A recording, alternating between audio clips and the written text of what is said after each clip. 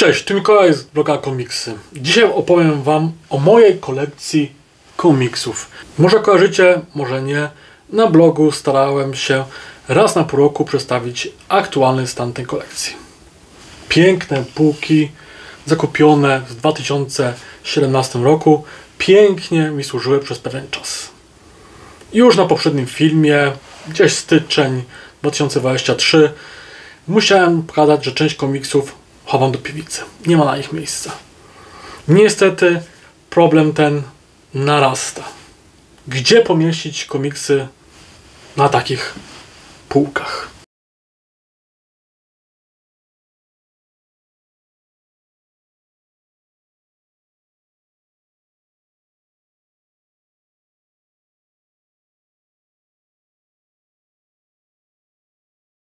W międzyczasie wakacje 2023 roku miał remont. Nie nagrałem filmu z półrocznym stanem kolekcji w czerwcu 2023 roku. Postanowiłem zrobić to później we wrześniu. Niestety po raz kolejny po remoncie kolor ścian, porządki nic nie zmieniły.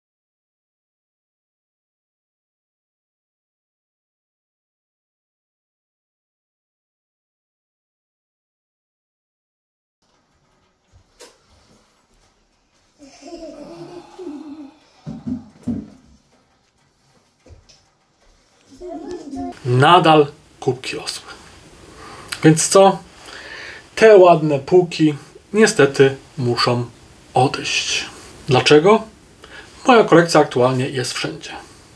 Na tych półkach, na ziemi, na innych szafkach.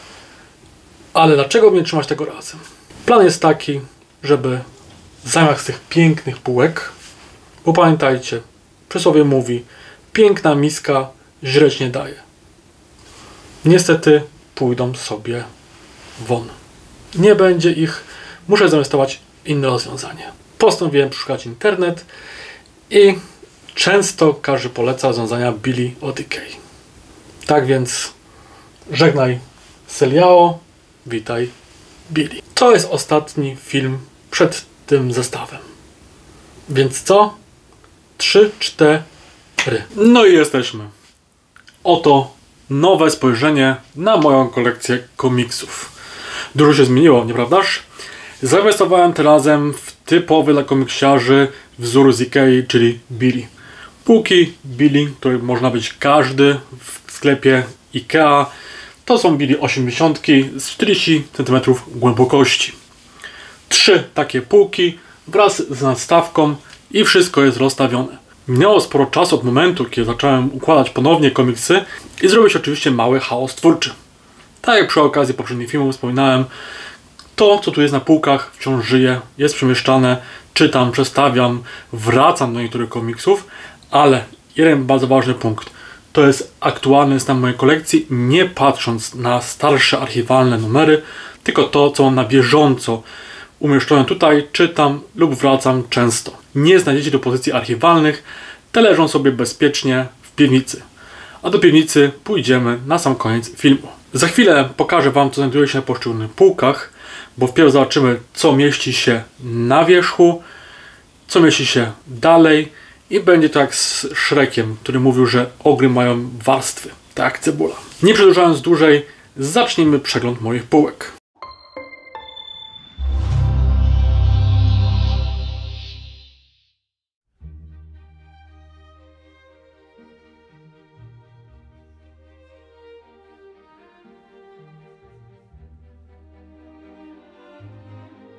Zacznijmy przegląd od nadstawki, na którą znalazło się dodatkowe miejsce. Tu umieściłem kolekcję Mistrzowie Horroru Fantastyki od Ashet, którą sobie zbieram. Dwukrotne umieszczenie książek sprawia, że jest dużo jeszcze miejsca. Obok leżą komiksy Lost in Time, które poznajecie. To jest Świat Akwilonu, ładna kubka. Dalej jeszcze więcej Lost in Time i dodatkowe pozycje. Tam są komiksy Torgal od Egmont oraz testowe tomy Asher plus plakaty i wszystkie bajery. Tam są tuby też z plakatami, które dostałem od wydawców, tu albo zakupiłem, albo były jako dodatkowe materiały. Część wygląda spoko, część się zniszczyła, ale tam jeszcze jest parę jeszcze niektórych plakatów zakupionych po prostu leżą sobie zapakowane ładnie, żeby się nie kurzyły. Dbanie o kurze to jest bardzo ważna rzecz w kolekcji. Dużo się zbiera, szczególnie na tej warstwie, więc regularnie tutaj przecieram sobie chusteczką. Pierwszy przejazd razu widoczny. Tutaj nie ma co sprzątać, bo leży sobie tylko figurka Tongansuka od Otoicha, trochę zasłania. Może pokażę figurkę. Jest to rzeźbione w drewnie małe. Dzieło przedstawiające jednego z bohaterów, dwóch gwoździ, a z tyłu jest Lost in Time. To jeszcze pudełko, w którym było dostarczone. Jest Torngansuk. Oto ich odłożę może wyżej, żeby nie przeszkadzało. W tym przypadku będzie łatwe. To jest y, część kolekcji Lost in Time. Lost in Time, jako jeden z moich ulubionych wydawców, ma osobną półkę. To jest część komiksów. Zobaczycie później resztę. Tytuły widać jasno, tu nie trzeba przedstawiać. Komiksy głównie frankofońskie lub z domieszką różnych innych krajów. Załóżmy, że taki sobie przyjmę kryterium podziału. Zresztą nieprawda jest, bo Lost in Time bardzo mocno inwestuje ostatnio w innych wydawców, innych krajów.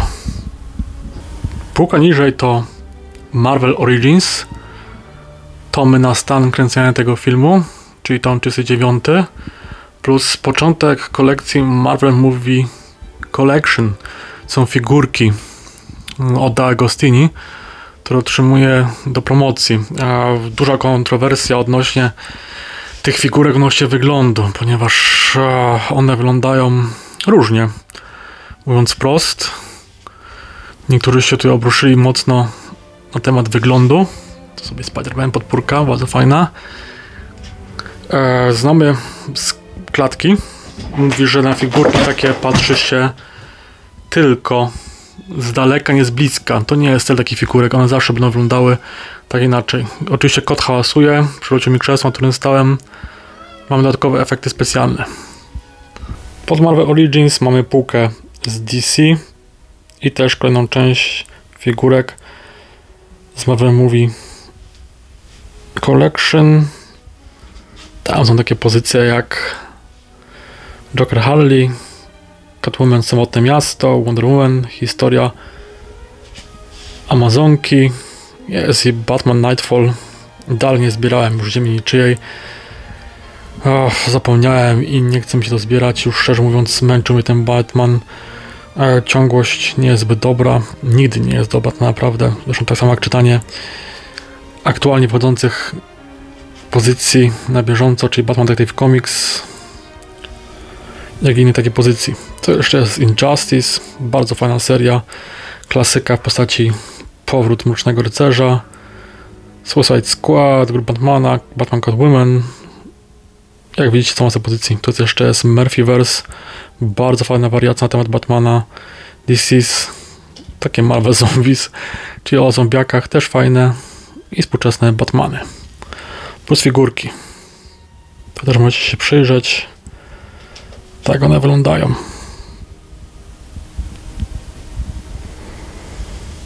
Pod DC jeszcze więcej DC. To jest kolekcja Bohaterowie Złoczyńcy DC plus podstawka od Marvel Movie Collections.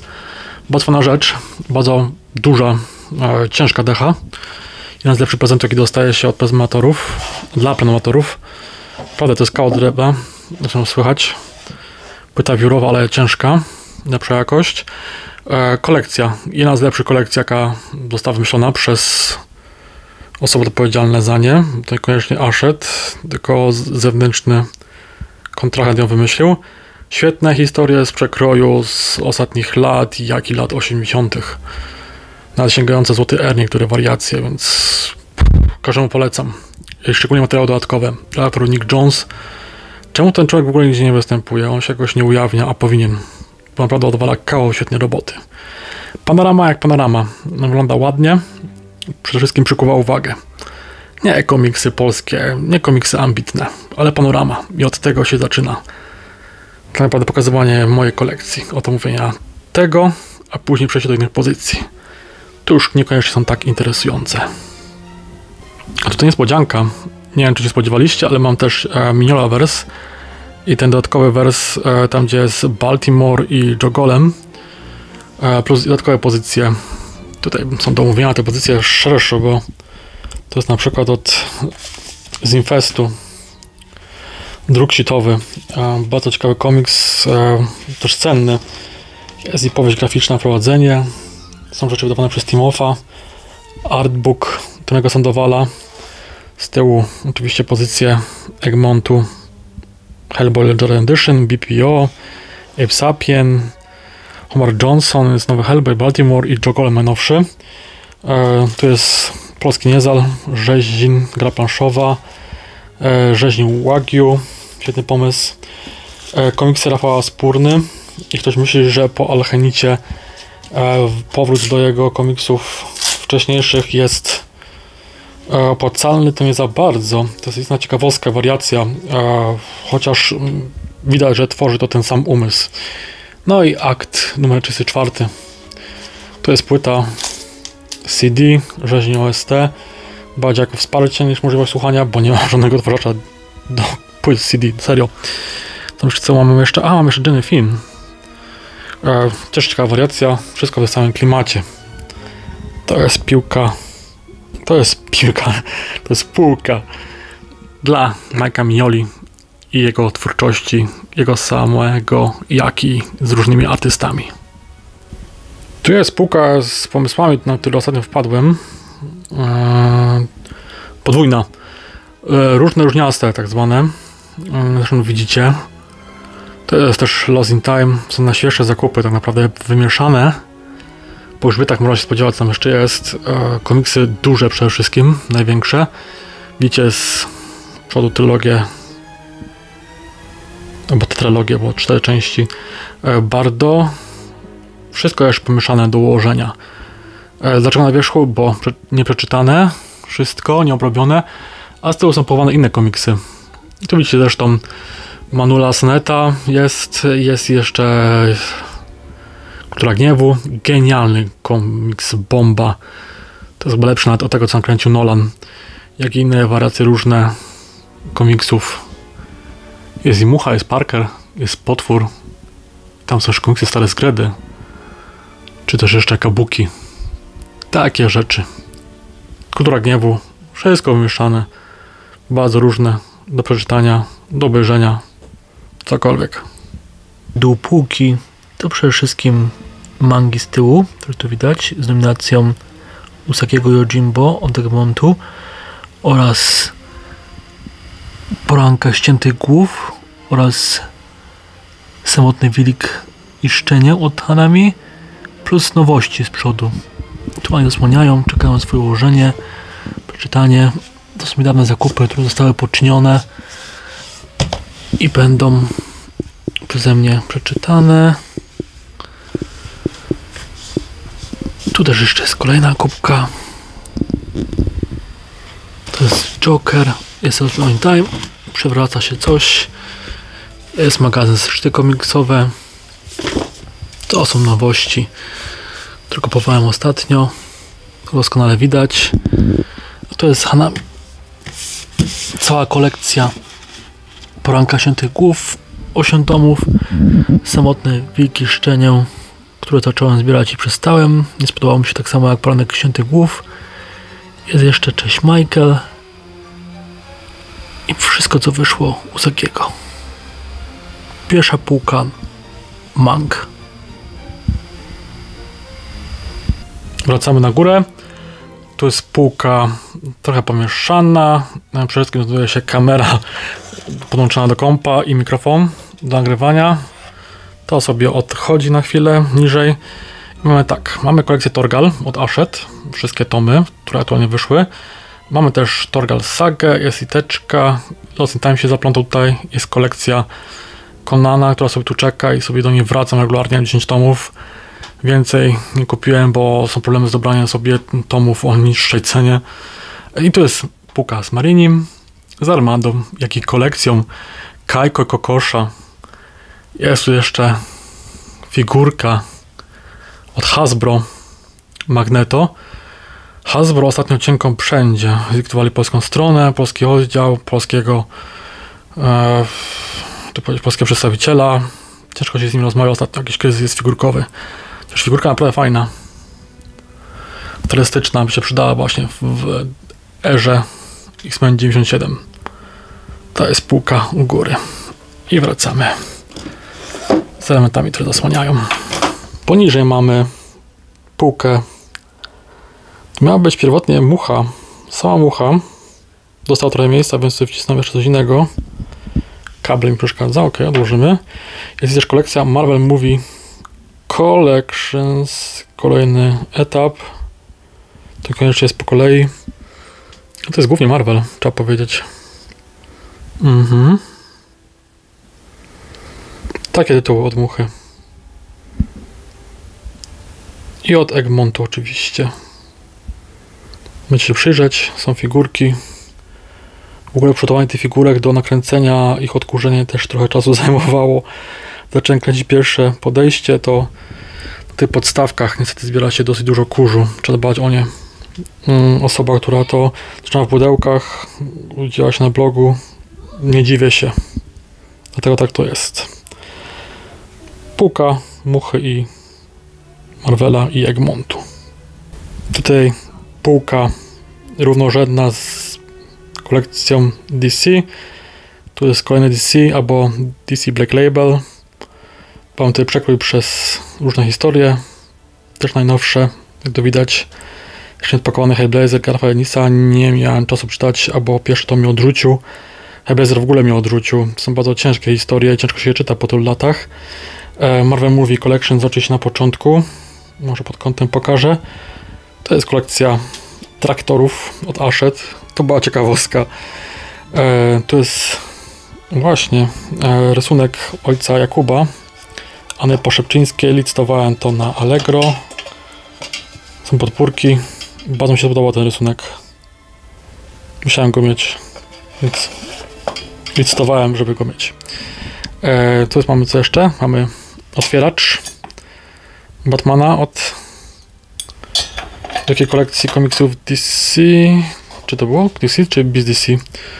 Który z nich, wizytówka Wolfhand, a się to podziała, jakie karty polskiego komiksowa od Bele.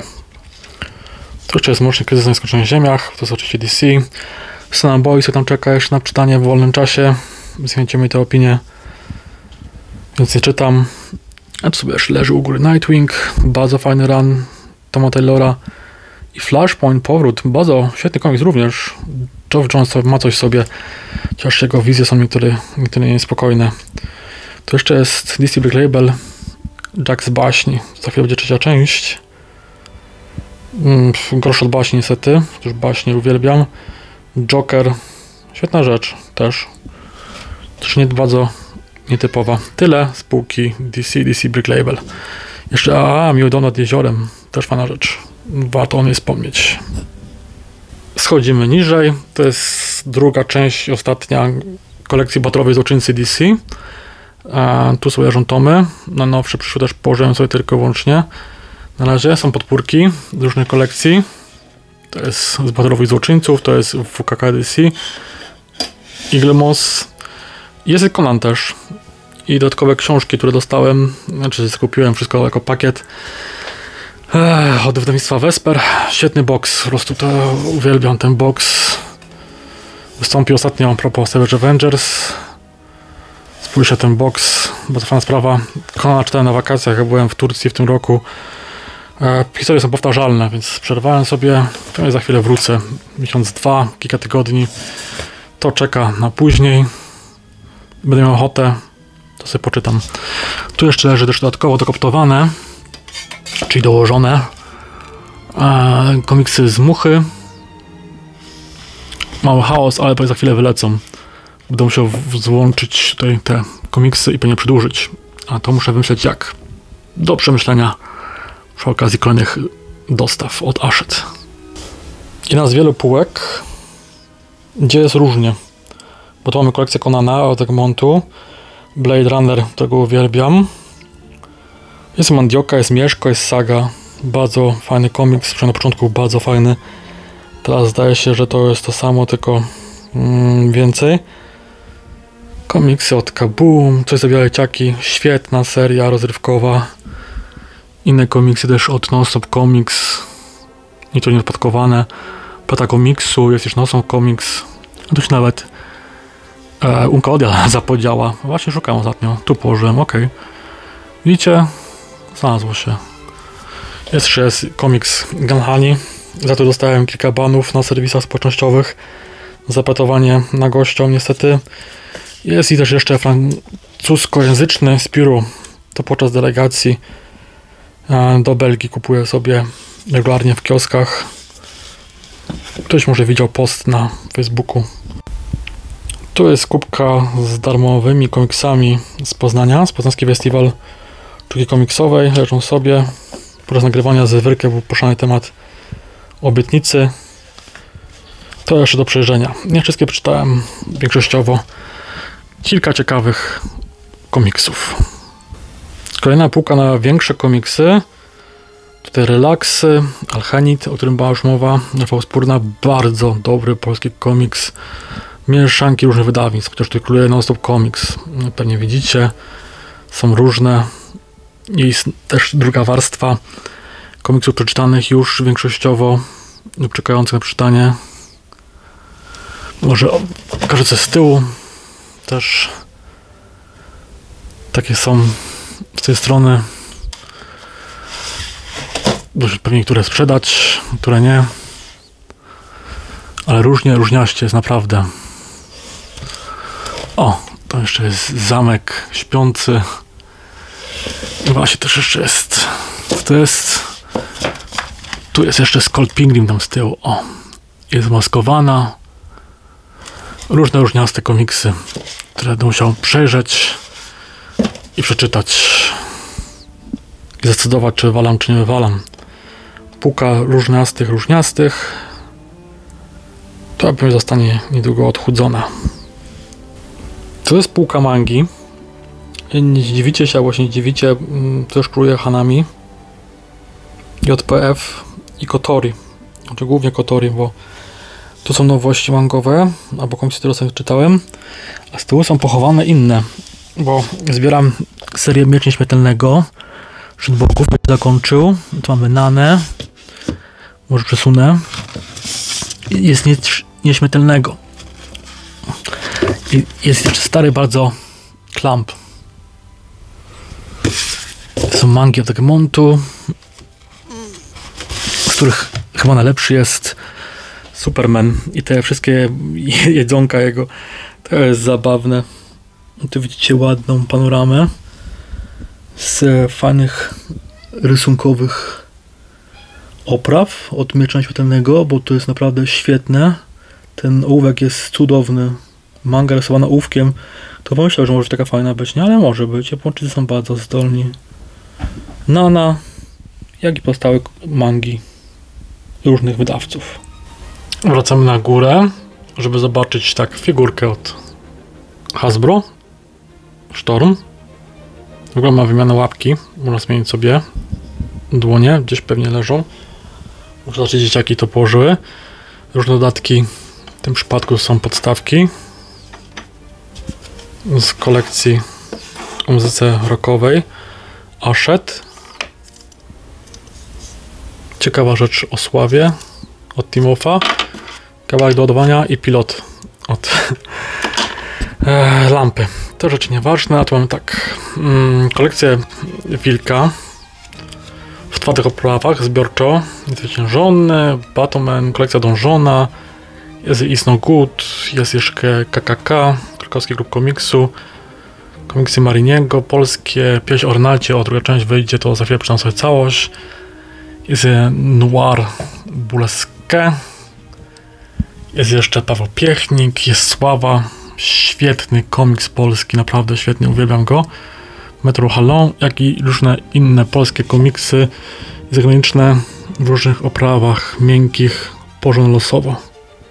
Jest to Śledziu też, jest i Lilliput, jest i Blair Rafała Szłapy, jest i o piratach, jest jeszcze komiks o łuskim getcie, jak i limitowana okładka Relax z okładką Wojciecha Stefańca. którą mi zrobił na MFC na moich oczach z Tytusem. Wojciech Stefaniec, mistrz polskiego rysunku.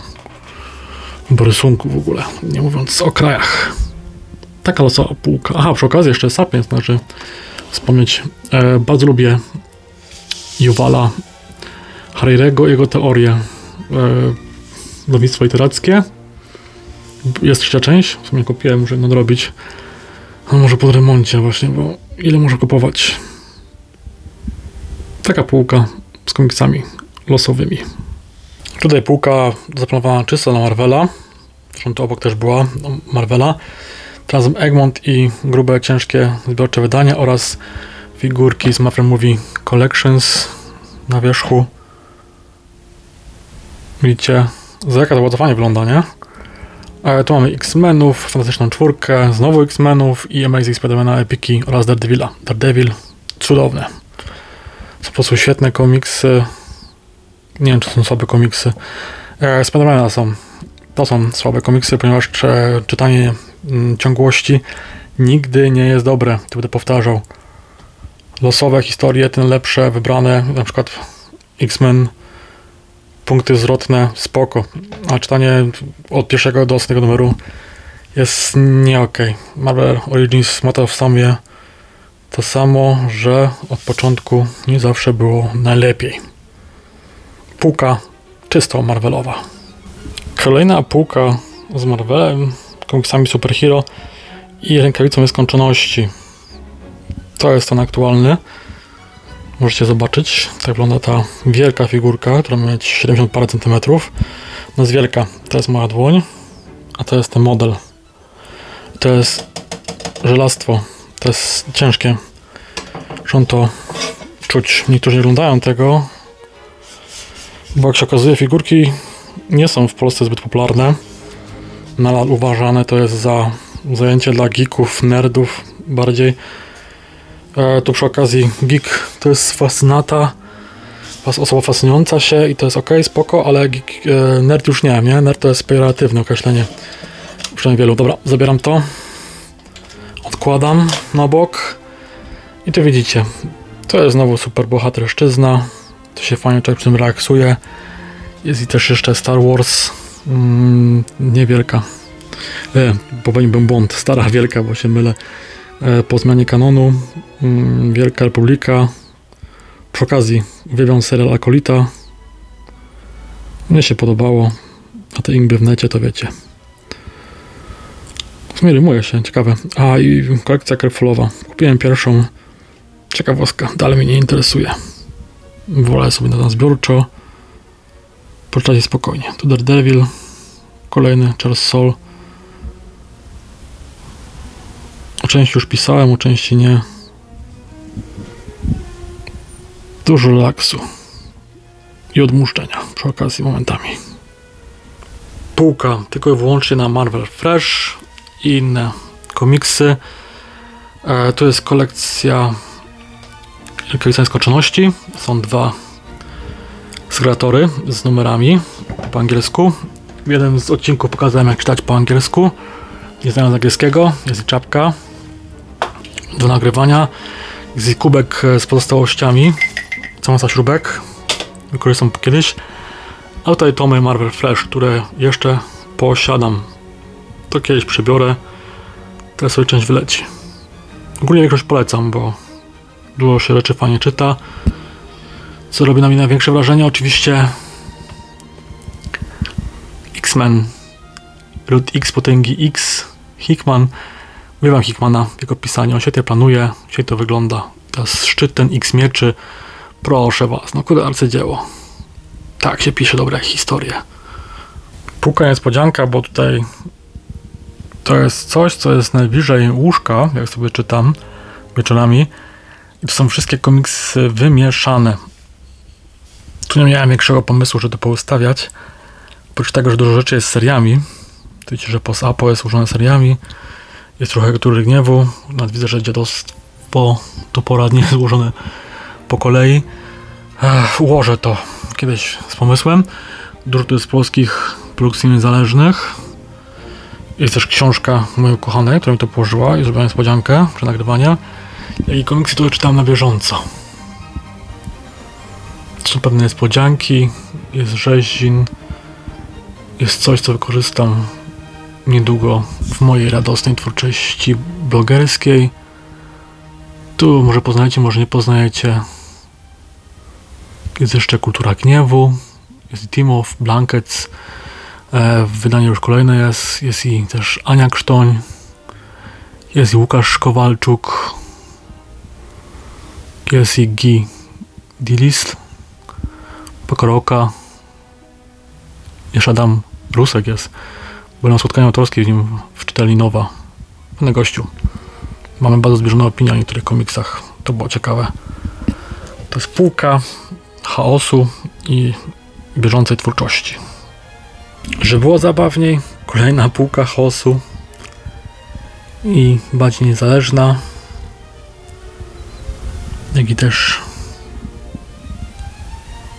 produkcji wielkich, jak na przykład Lore Olympus, kontrowersyjne polskie wydanie. Mi się podoba. Bardzo fajne. Fajne czytadło przy okazji. Lekkie. Możecie zobaczyć dużo polskich komiksów, dużo zagranicznych też, różnych wydawnictw. A tu chyba najwięcej fila jest chyba. Bazgrole. E, komiks, które czytam. Starhenge. Relax. Stare zgredy. Co nie mam pojęcia, się czyta prawidłowo. Elżbieta, nazwijmy to. Jest komiks Mieszko też. O, to jest Jakub Topor. Jak jeszcze duży na Ktulu. To się przygotowywałem do rozmów z autorami i zostało jeszcze. To pewnie długo wyląduje. Ale to są też klasyki. Co ciekawe, to jeszcze jest e, dużo WE, UI, różne polskie produkcje, Wydział Siódmy, i box cudowny, jak i fajne komiksy typu Upadek. Bardzo mi się podobał ten komiks. Czy też Lekcja aktorstwa Nika Etnaso. Cudowny komiks. Dużo fajnych wspomnień tu mam z tej półki. Naprawdę fajne rzeczy. I przy okazji widać, że muszę ułożyć chyba polskimi autorami. Tak właśnie myślałem sobie. Ostatnia półka, która jest trochę pod kątem, ponieważ za dużo miejsca. Jest tu Blast w boksie. Jest i kolekcja Tytus Romek i Atomek, jak i wielkie komiksy ogólnie, mm, bardzo duże kolekcyjne wydania. Jest też jeszcze CE, kot by się wrąbał. Jest i też, o, magiczne pudełko z bajerami różnymi, z różnych festiwali. Tu zbieram wszelkie ulotki, zakładki, inne bajery,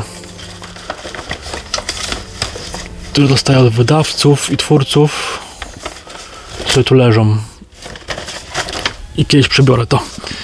Eee, wielkie tomy Egmontu, Długie Halloween, Odmuchy, Czyż Ongrysa, komiksy, które są wielkoformatowe i ciężko się je czyta też blisko łóżka, że nie musiał się wysilać. Basilisk, wielka kampania na Kickstarterze, wielki sukces przy okazji. Jona Karpowicz, Anubis, Fem Places. To są bardzo wielkie i bardzo fajne komiksy przy okazji. Jeszcze jest Conan Labrum, świetna rzecz też. Tutaj czytać to warto i oglądać, bo są komiksy przede wszystkim do oglądania.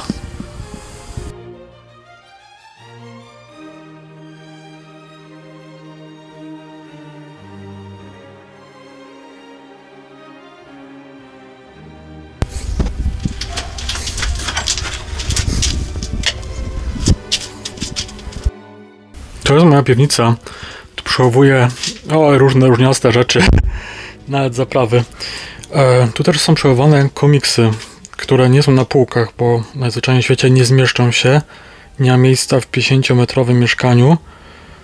Tutaj widać część mojej kolekcji. Mm, w folii są schowane komiksy niezależne. Tu są jakieś kolekcje.